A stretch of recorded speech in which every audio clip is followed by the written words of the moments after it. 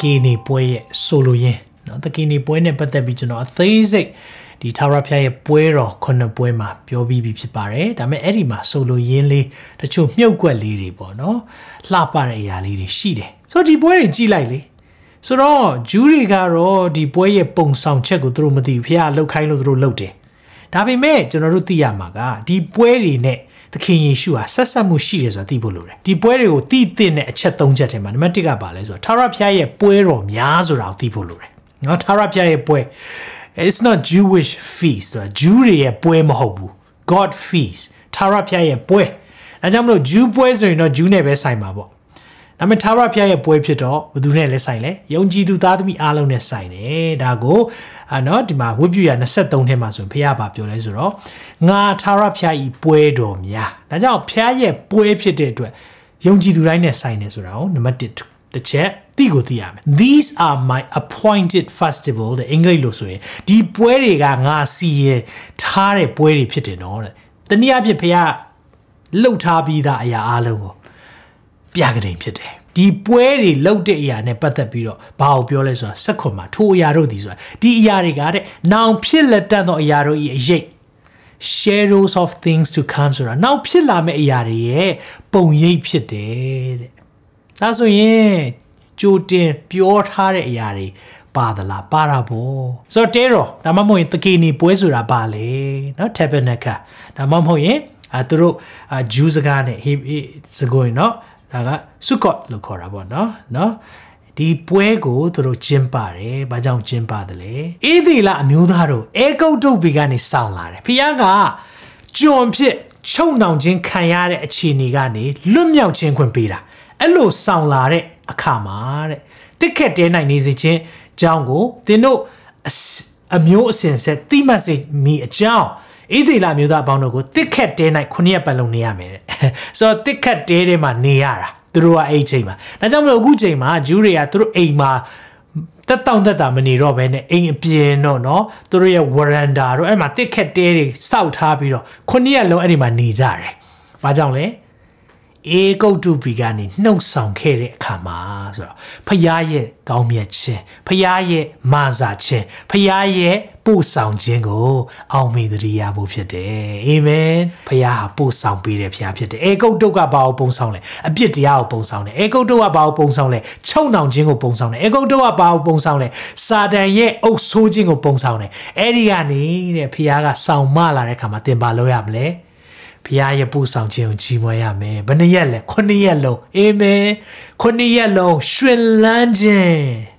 ခုနှစ်ရက်လုံးရှင်လန်းခြင်းနဲ့ဘုရားရှိမှလာမှာအဇုမပွဲတဲ့ကိုယ်တိုင်တက်ရမှာခုနှစ်သတင်းပွဲတဲ့တကီနီပွဲတဲ့အဲ့ဒီသုံးပွဲတက်ကိုတက်ရမယ်ဆိုတော့အဲ့ဒီသုံးပွဲကိုကိုယ်တိုင်မျက်နှာပြရမယ်တဲ့ ဖျားရှိမှလာမယ်လက်ချီလည်းမရဘူးတဲ့ဆိုတော့အဇုမပွဲကိုဘာပုံဆောင်လဲဆိုတော့ခရစ်တော်ရဲ့အသေးခံခြင်းတနည်းအားဖြင့်ကယ်တင်ခြင်းကိုပုံဆောင်တယ်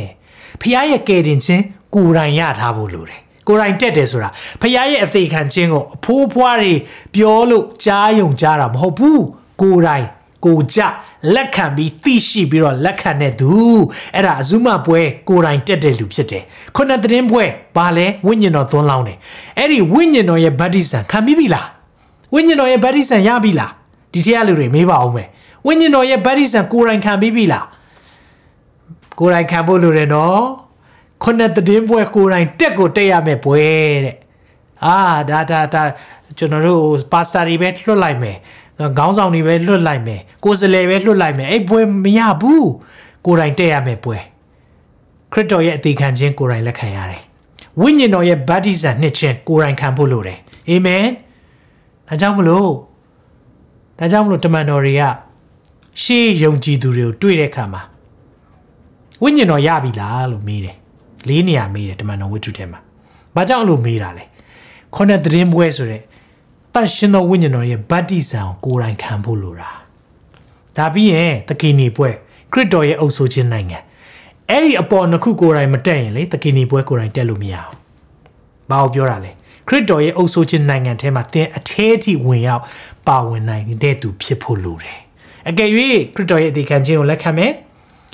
ကိုယ်တိုင်လည်းဝိညာဉ်တော်ရဲ့ဗတ္တိဇံခံထားတဲ့သူဖြစ်တယ်ဆိုရင်တော့သခင်နေပွဲခရစ်တော်ရဲ့အုပ်ဆိုခြင်းဟာသင်လဲသူနဲ့နှစ်တစ်ထောင်အတူတကွမြို့ထဲမှာဝင်ရမှာဖះကရွှင်လန်းပါလို့ပြောထားတာနော်ခုနတော့ဘယ်သူတွေခေါ်ရမလဲအကုန်ခေါ်ရမှာအကုန်ခေါ်ရမှာအဲ့ကဲအဲ့ဒီအာကန်တုတွေကော နော်ပြီးရင်နော်အဲ့ဒီလေဝိသားဆိုတာမူရောဆောင်နေပါတယ်အကုန်ခေါ်ပြီးတော့ကျေးဇူးတော်ချီးမွမ်းဖို့လိုတယ်အဲ့လိုကျေးဇူးတော်ချီးမွမ်းတဲ့အရာခုနှစ်ရက်လုံးလုပ်တာနော်ခုနှစ်ရက်လုံးကျေးဇူးတော်ချီးမွမ်းတဲ့အချိန်မှာဖះကောင်းမြတ်ခြင်းတွေကိုရေတွက်တဲ့ခါမှာဗာမြင်ရလဲဖះရဲ့ကောင်းကြီးပေးခြင်းလည်းမြင်ရတယ်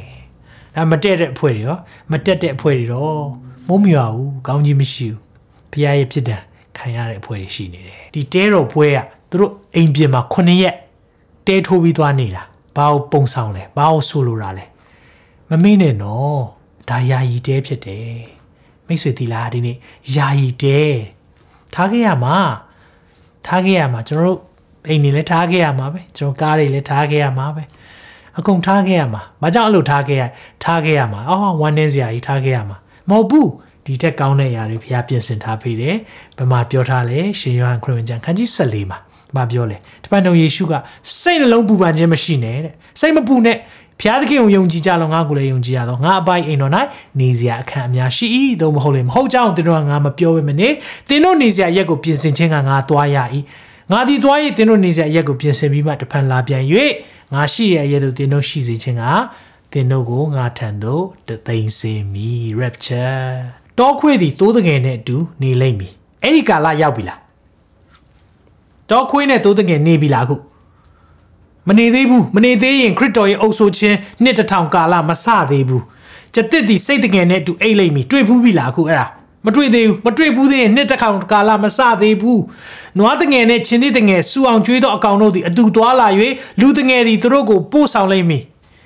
ခေခမည်းကလေးကိုချင်းသေးရှေ့မှာတွားထားလိုက်နှစ်တစ်ထောင်ကာလရောက်နေပြီလို့ယုံကြည်တယ်ဆိုရင်နွားမနဲ့ဝတ်မဝွန်မသည် အတူချက်ချက်စား၍သူတို့သားငယ်များသည်အတူအိတ်ကြလိမ့်မည်တဲ့ချင်းသေးသည်လည်းနွားကဲ့သို့မြတ်ကိုစားလိမ့်မည်ချင်းသေးမြတ်စားတဲ့ကာလရောက်ပြီလားမရောက်သေးရင်